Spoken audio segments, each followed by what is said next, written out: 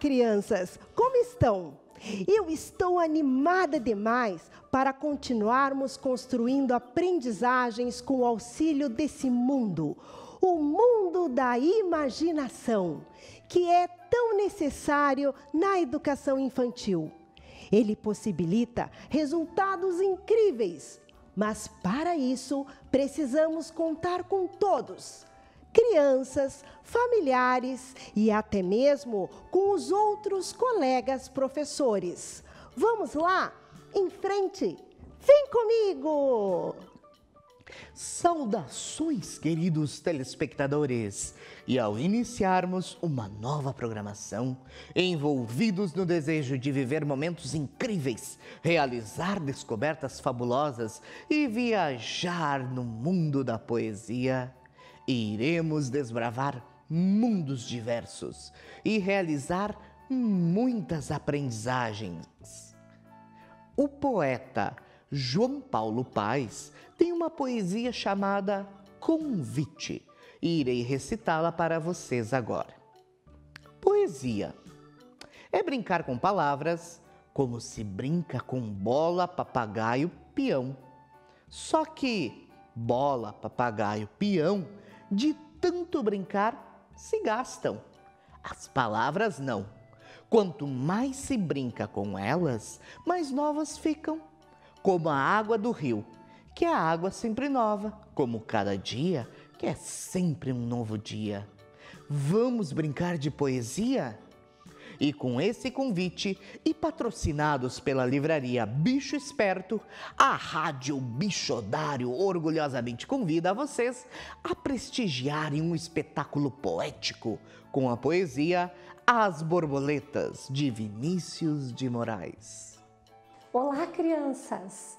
Vim aqui com uma missão muito especial. Vem cá, bem pertinho, vou contar para vocês Preciso que todos abram o coração e ativem o botãozinho da imaginação, pois será muito especial. Todos estão convidados a participar deste espetáculo cheio de luz, sombras, cores e rimas. Agora é com vocês, a borboletinha Maria Júlia.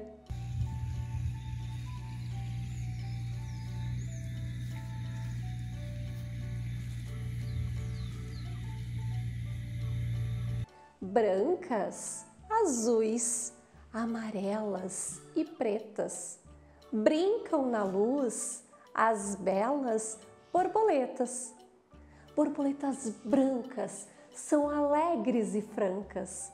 Borboletas azuis gostam muito de luz. As amarelinhas são tão bonitinhas e as pretas então, oh que escuridão! Vinícius de Moraes. E aí, queridos telespectadores, gostaram? Eu adoro poesia, borboletas e com essa luz toda, que incrível! Por isso, convidei uma amiga, a borboletalda das artes e suas auxiliares do reino dos voos leves, para mostrar para vocês pouco mais deste espetáculo de cores e sensações. Então, é com vocês, meninas. Olá, meus queridos! Eu me chamo Borboletalda das Artes e hoje trouxe as minhas auxiliares fadas. Nós viemos do reino dos voos leves para compartilhar com vocês como fazemos artes e ciências juntas Cada uma das minhas ajudantes irão mostrar algumas artes que fizemos em nosso reino e sempre utilizando a ciência como comprovadora de fatos. Serão momentos incríveis de aprendizados. Tenho certeza que vocês são crianças curiosas, muito espertas e após cada descoberta poderão debater o assunto aí, com a sua família, construindo esquemas mentais de organização do pensamento. Mas e aí? Ficou curioso? Então, vamos lá? Olá, amiguinhos! Eu vim aqui realizar uma explosão com vocês. Mas calma, a explosão é de cores e o resultado será incrível. Mas será que isso é mágica ou ciência? Vamos lá então para os materiais e fique atento a todos os detalhes. Nós vamos utilizar leite, detergente líquido e corantes. E também um prato. Vamos pingar, colocar no prato o leite, pingar algumas cores do corante, pode ser bem colorido.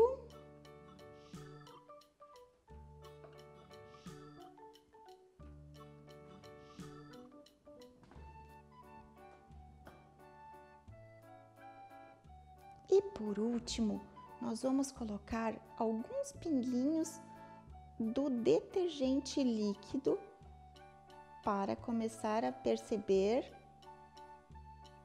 a explosão de cores. Olhem que legal!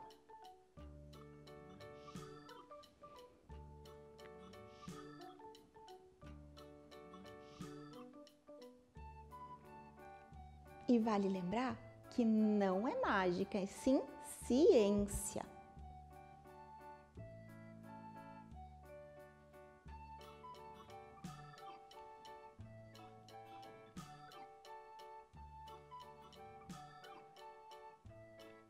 Olá, crianças! Tudo bem com vocês? Eu estou aqui hoje para explorar uma experiência muito bacana. O nome dela é erupção colorida. O que será? Vamos ver os ingredientes que a gente irá precisar? Vamos lá. Você vai precisar de vinagre branco, de preferência, para aparecer melhor a cor. Detergente, que você usa para lavar a louça da sua casa. Bicarbonato de sódio dois copos transparentes, uma colher e corantes de diferentes cores para nossa erupção ficar bem colorida. Vamos fazer agora? Vamos lá. Primeira coisa que você vai fazer é pegar o vinagre e colocar no copo. Eu vou colocar mais ou menos metade do copo de vinagre. Assim tá bom. Agora eu vou colocar no outro.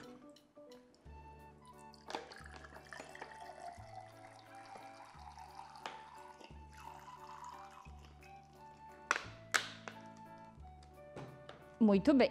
Agora eu vou usar o detergente. Eu vou colocar um pouco de detergente em cada um dos copos.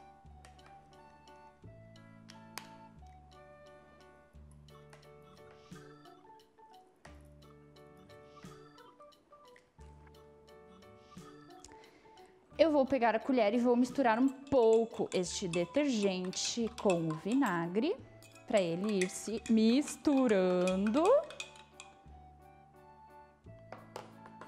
Agora eu vou colocar o corante para dar a cor colorida da nossa erupção. vou usar o corante laranja em um dos copos.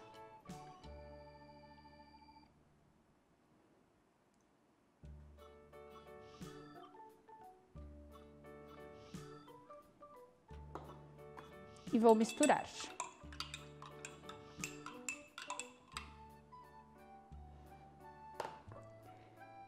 No outro copo eu vou utilizar o roxo.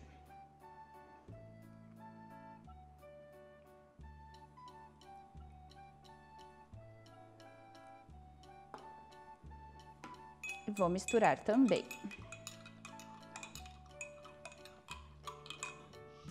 Muito bem. Agora eu vou utilizar o bicarbonato de sódio. E vamos ver a mágica que vai acontecer? Eu vou pegar uma colher de bicarbonato de sódio.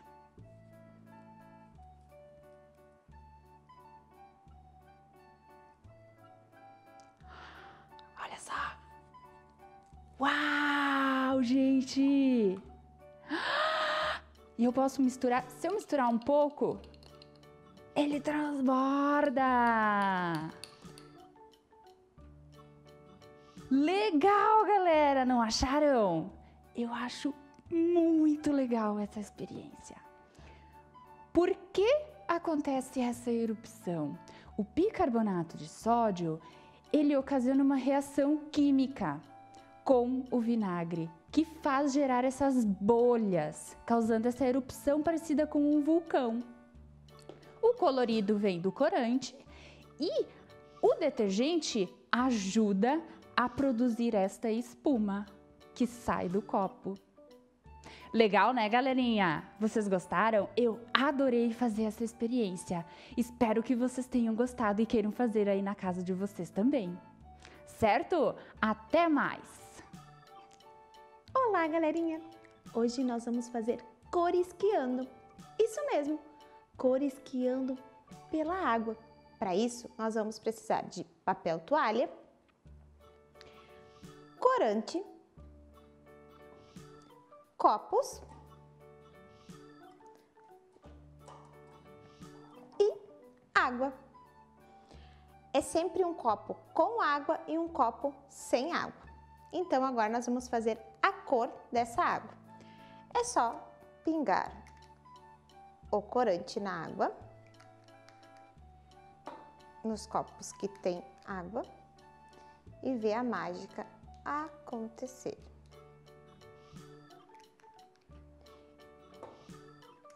Enquanto essas cores se misturam, nós vamos pegar o papel toalha, tirar uma folha dele e dobrar ao meio. Faz a primeira dobra e depois uma segunda dobra. Certo? Como nós temos cinco copos, a cada dois copos nós vamos colocar um papel toalha. Então, agora nós vamos precisar de mais.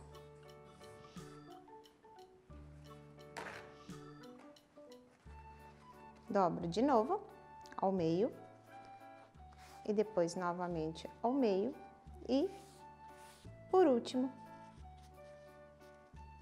bem no meio. Agora que as cores já se misturaram, eu estou usando um palitinho de churrasco. Vocês podem usar uma colher, um gravetinho para misturar bem essas cores.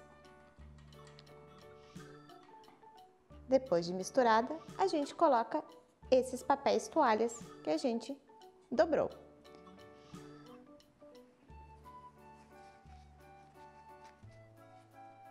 Um no vermelho, um no amarelo.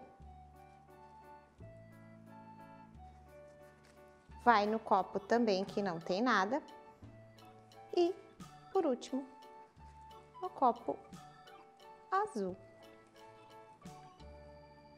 Agora, a gente precisa esperar as cores andarem pelo papel. Elas já começaram. Então, vamos esperar um pouquinho? Depois de alguns minutos, olha a magia que aconteceu.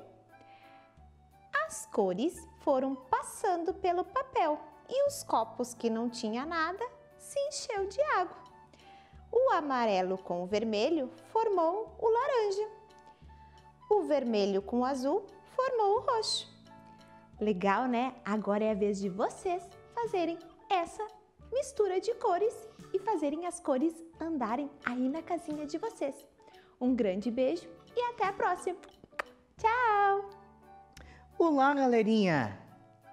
Ao experienciarmos diferentes manifestações artísticas, culturais e científicas, percebemos diversas formas que podemos nos expressar, seja por meio da poesia, da pintura, modelagem, da colagem, fotografia, música, teatro e dança. Criamos formas de ser e estar no mundo à nossa volta.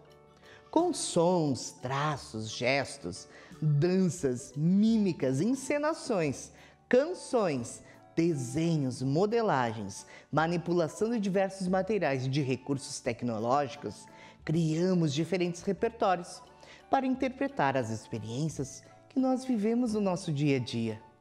Assim, no programa de hoje, exploramos essas diferentes formas de perceber e de se expressar no mundo e com os objetos à nossa volta. E com certeza despertamos a curiosidade de vocês. E o nosso desafio é que vocês tentem explorar, com a ajuda de um familiar, uma das experiências que nós vimos no programa de hoje. Um abraço apertado e nos vemos no próximo episódio. Tchau!